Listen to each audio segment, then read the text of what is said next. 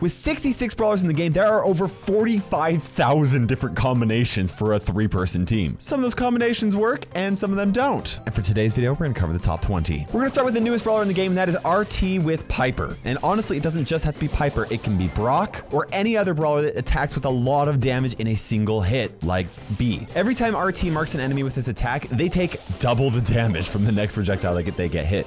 Maybe by the time this video's out, that will be nerfed because that's really strong.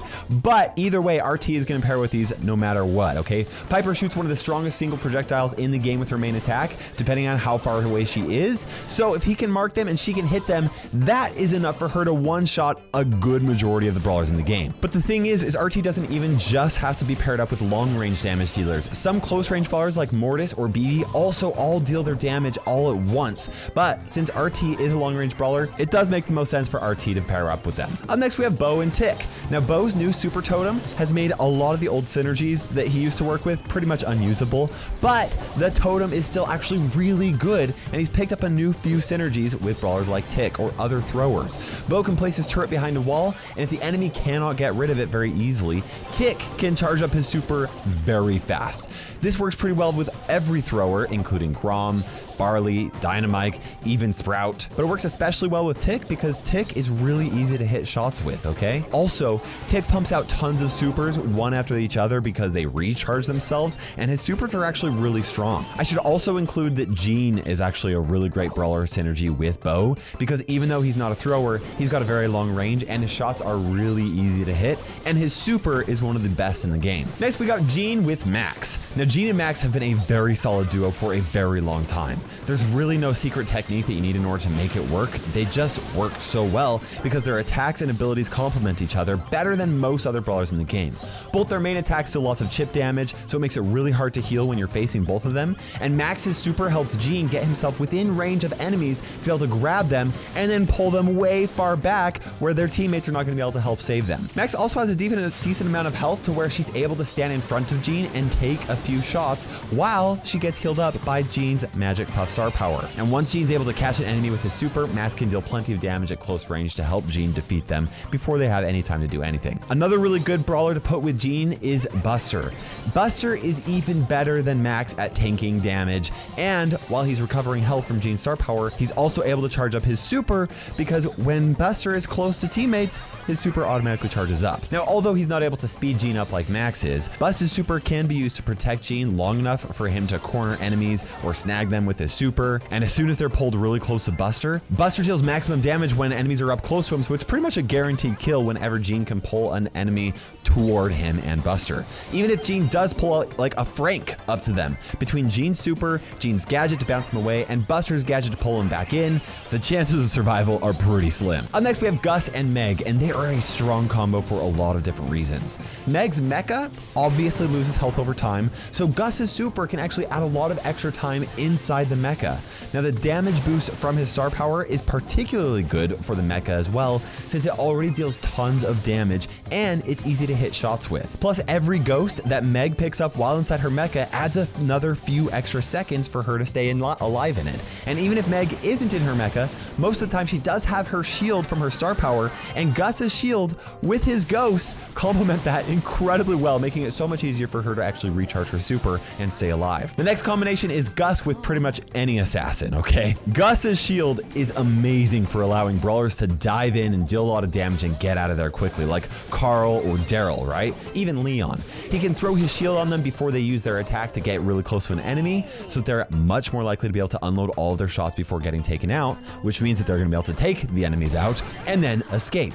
The damage boost is also perfect for assassins since it only lasts for a few seconds after receiving that shield, because that's usually more than enough time they need to kill an enemy, right? Obviously, when we're talking about that extra damage, we're talking about his second star power, the spirit animal one, which boosts that damage by 25%. Now, it is unlikely that the assassins will be able to go in on enemies and then they'll also happen to have like a ghost around them. But if there is a ghost around there, then those assassins can pick that up and help keep themselves alive as well, which is really useful. Next, we got a very strong trio combination, and that is Pam, Poco, and Gus. And you can probably guess why. All three of these brawlers are healers and pretty good at dealing damage together, which makes it very difficult to take them out. Gus probably isn't as good as a healer as Byron is, but he's by far the bet a better brawler. So unfortunately for Byron, he kind of took Byron's place, even though Byron recently did get a little bit of a buff. But you could substitute Byron in there if you really wanted to. Both Pam and Poco have a gadget, a super, and a star power that all provide healing, and Gus's ghost can even double the healing with his star power. Crow does counter this comp very hard. So if you're facing off against an enemy Crow and you know that you are going to be like in Power League or something like that, do not go with this. But other brawlers can't really do very much about this healing because even if they play well against those brawlers individually, that's a lot of HP for them to deal with. Another good combination is Poco and Meg. When Meg is inside her mecha, all healing that re she receives is reduced by a lot, but between Poco's gadget, his star power, his super, it really can add up a lot, and Meg can get a bunch of extra time inside her mecha thanks to Poco. And it's honestly a really easy thing to do. All he has to do is just stand behind Meg and constantly heal her since you can't really get close to Meg's mecha thanks to her super. So like, he's unlikely to actually be able to hit enemies while he's doing this, but keeping her alive, honestly, Meg in her mecha is a very difficult thing to take out. Like, it's really powerful, has a ton of range, it covers a massive area, deals tons of damage. Honestly, at that point, Poco just healing Meg is gonna be plenty enough for you guys to win most of the time. But when she's not in the mecha, also, that shield that she has essentially buffs Poco's healing on her as well. And because the healing's no longer reduced while she's outside of her mecha, it's actually a really great combo. Honestly, when you're playing Meg, you're going to want to have a healer on your team. And Poco's arguably the best brawler for just keeping a teammate alive like that. And another really good combination is Poco with two other tanks, okay? Poco double tank has won world championships. Now, brawlers with lots of health typically have to use that health to reliably get close to enemies, and depending on who they're up against, they don't always have enough health to do it.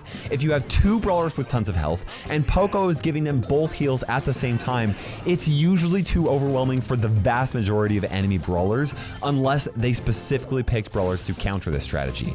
Now I say tanks because it doesn't really matter who you choose as long as you have lots of health. You can even pick up some brawlers with more range, like Carl or Griff, that also have a decent amount of health. But typically, tankier brawlers are usually better. I like going with Darryl and Frank, but depending on the game mode, you might want to do something different. Speaking of double tanks, they also work very well with Max. Poco solves the problem of healing tanks so they can get close to enemies by using their HP. Max does the same exact thing, but with speed. By making them faster, they can dodge shots and get closer to enemies, bridge that gap so that they can actually deal damage to them. Not only does the enemy have less time to hit you before you catch up to them, but it makes it way harder for these brawlers to hit since like that movement speed makes it very strong. Honestly, in a lot of these brawlers, the tanks actually have faster movement speeds in general, so boosting it further just makes them so much stronger. For our next combination, we have Bea and Griff, and they work incredibly well because Bea does really well on maps with lots of range that are wide open, right? And Griff has a gadget that makes it very easy for him to open up the map, and that allows both Bea and Griff to actually thrive. Now, there are other brawlers that can do this, like Colt or Brock, and while they're not bad with Bea,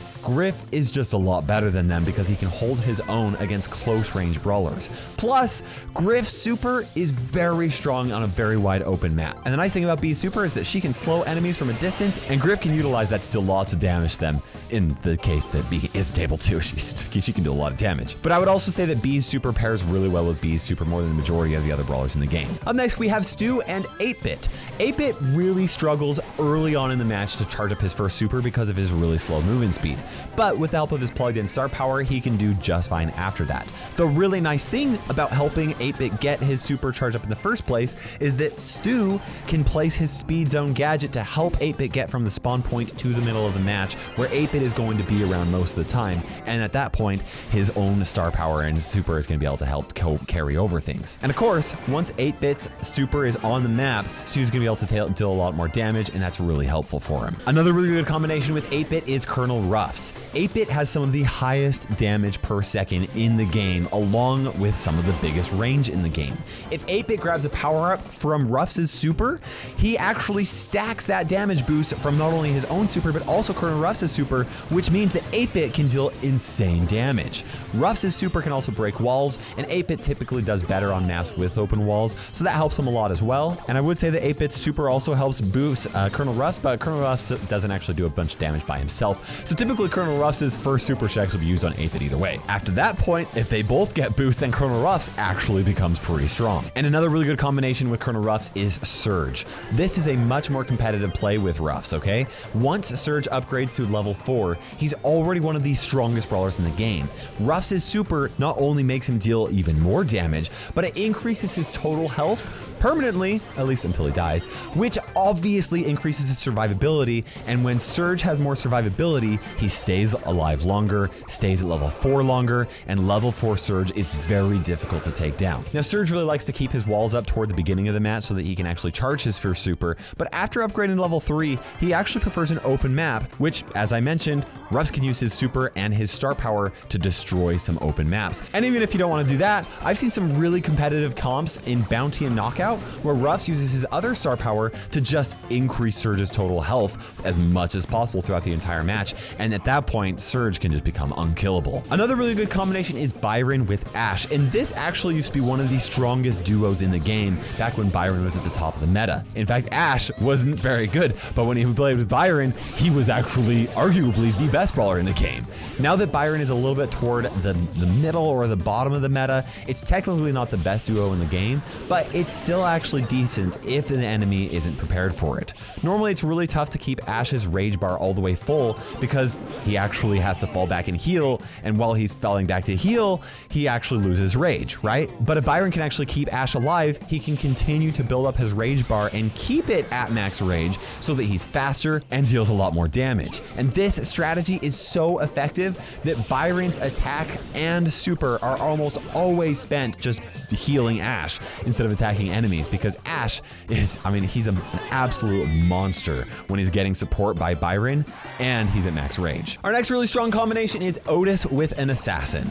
Otis is great at helping most assassins do their job. And when I say assassin, I mean brawlers that have like diving abilities like Fang or Carl, maybe even Edgar if you really want to play him. Once Otis lands his super on an enemy, whatever assassin is on the team can easily jump on that muted enemy without having to worry at all about fighting back. And that's what makes this so strong. Typically when people get muted by Otis' super, they start falling back so that they can heal and wait until it goes away. But there's nothing they can do if a Leon pops up or an Edgar jumps on them right when that happens. And the real reason why this works so well is that Typically, long range brawlers are very good against Otis, but are usually weak against assassins. So this strategy actually allows these two brawlers to kind of cover each other's weaknesses. For our next combination, we've got the triple thrower. And currently the three best in the game are arguably Grom, Tick, and Sprout, but Dynamike and Barley honestly aren't that bad either, especially now that they introduce indestructible walls into the game. Now this strategy, it has a lot of flaws. It can very easily get countered by quick, aggressive brawlers that can just dodge the throwers with things or like jump over walls to take them or even just break walls. But if the opponent does not have a counter to this comp, it's basically a guaranteed win and it's very frustrating to play against. Even if you do have a way to counter it, it's very annoying to play against. Three throwers on the same map at the same time, especially on maps with lots of indestructible walls, can just, I mean, they can, they can just stay away from enemies' attacks, cover each other from a safe distance behind walls. They can even take time to heal up in the back if they want to. And when enemies do find ways to slip past their attacks, Tick and Sprout have supers that do a really good job at pushing enemies away from them. For our next combination, we have Penny, Spike, and Gale. Penny's mortar is almost impossible to dodge if the enemy is slowed down even just a little bit. Gale's freezing snow star power makes it very easy to slow enemies down just long enough to where they cannot escape a Penny mortar attack. And when they cannot escape from that, they're going to take a lot of damage. If Gale cannot hit them, Spike super does a really good job at slowing enemies down as well. Now this is especially true if Spike has his mythic gear equipped. If that super hits an enemy with that gear equipped, there's no way they're running away. They are going to be taking a lot lot of damage, and most brawlers would get taken out with that alone. Alongside the slowing abilities that Gale has and very wide attacks, Spike's main attack covers a huge area, Penny's main attack covers a huge area, and it's going to be really difficult for the enemy team to avoid damage at all. Our next combination is Mandy and Squeak. Another brawler that has really great slowing abilities is Squeak, and his star power can slow multiple enemies down at a time, and his gadget actually can as well if they accidentally walk into it, or if you're able to land a, a shot onto an enemy with it. One of the best brawlers to capitalize capitalize on this slow is Mandy because of how powerful her super is. It deals an insane amount of damage and it travels across the entire map. So it doesn't matter how far away the slowed enemy is away from her, she's gonna be able to take them out or at least deal lots of damage. She also has a really good gadget that slows enemies down as well, which is good for Squeak because brawlers can usually walk outside of that blast radius unless they are slowed down. So these two brawlers actually pair very well together. For our next combination, we have Tara plus Dynamike.